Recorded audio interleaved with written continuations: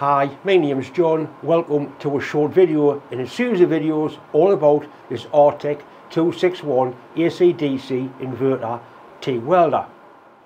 In this video I won't be sitting at a bench welding some nice clean stainless coupons. This is a real world video. I've got a stainless steel welding job to do and I'm going to base the video around that.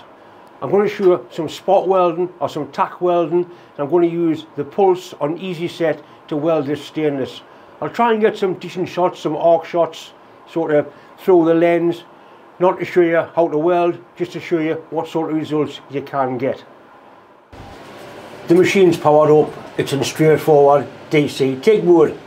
The first thing to set is the amperage. It's actually 140 amps, which will be enough to do the job I've got to do. We're interested in this one here, where it says spot. So we'll navigate around that turns the spot on and that turns the tack on. I'm going to use spot on this particular job. So you go into here and it gives you the parameters of what's going to happen. You've got 2.5 seconds of pre-flow gas. It's got a spot time of one second. It's got a stitch time of two seconds. So it's going to fire for one second, off for two, back on for one. And the last one is post flow. That's gas that comes out when you're finished welding it's not wasting gas. It keeps the weld pool clean. It also helps to keep the tungsten clean. We're back to the standard screen. This is the same material we're going to be welding, 4mm stainless. I'm going to try and get a decent arc shot of the spot welding process or the tack welding process before we move on to the real job.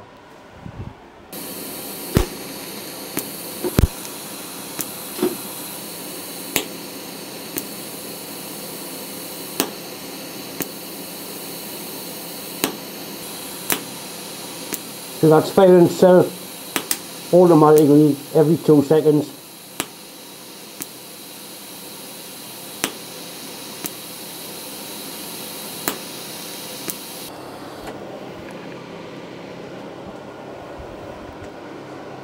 All I'm interested in is actually doing the one spot weld to join them together, then I'm going to use a pulse weld to do the job. This is the actual job we've got to do this is an ash pan of a Sentinel steam wagon. The problem with it is it's an inch and a half too shallow. So I've had some stainless steel strip cut and I've bent it around something to get it sort of somewhere near the shape and I need to weld that onto there. So the idea is to put some tack welds on and slowly form it round to keep a nice curve to try and get it to fit as best I can. Then I'm going to pulse weld it. I've got a clamp on to hold the beginning of it. You can see the curve's wrong, the curve's not right. I just bent it around something I haven't got a, a set of rollers that'll bend this. But what I can do is I can make it fit, I can tack it and tack it and tack it and slowly bend it around and we will get a good result.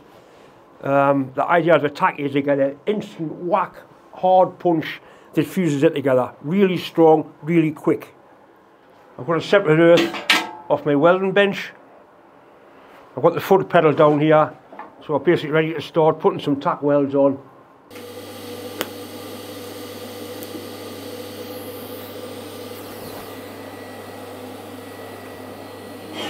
Just put making really nice shiny tack welds so you can bend it into shape.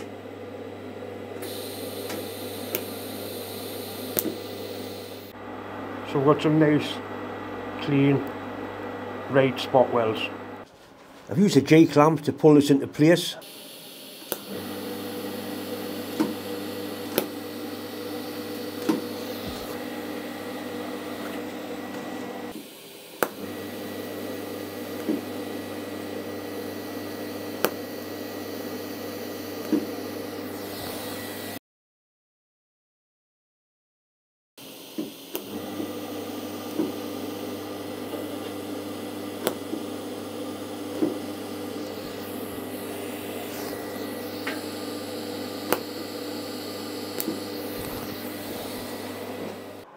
So that was a setup for the spot welding.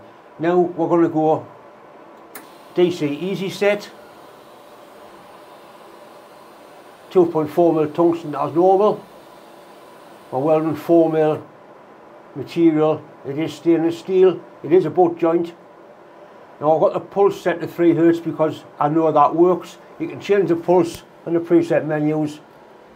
But 3, which is 2 hertz, actually works very well on this job.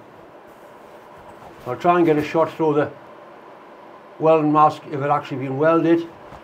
I've got 10% either way on the amperage and I'm going to tweak it up to 140 amps because I am using a pedal and I can't back it off if I need to.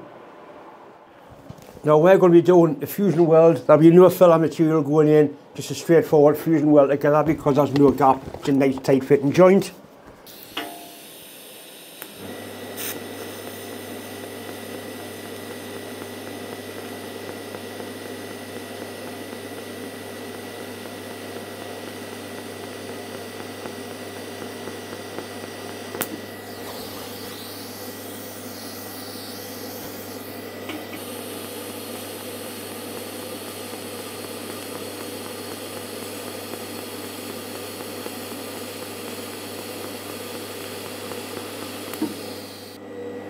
So a nice, clean, shiny weld.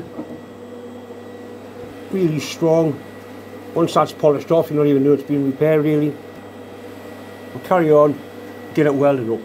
It's welded all the way around now. I'm just going to patch to put in there, but it's a nice, clean weld all the way around.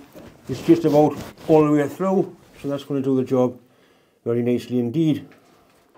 I'm sure you'll agree that the machine did everything it's supposed to do. That spot function is very handy when you've only got one hand, you're holding something and you can tack up. The pulse on the easy set worked very well. Nice clean welds, plenty of penetration without that much heat input. I hope you've managed to learn something from the video, take something from it. If you do decide to buy this welder, in fact any product from R-Tech, be sure to use my name. It certainly won't do you any harm. And don't forget to wear your gloves when you're welding.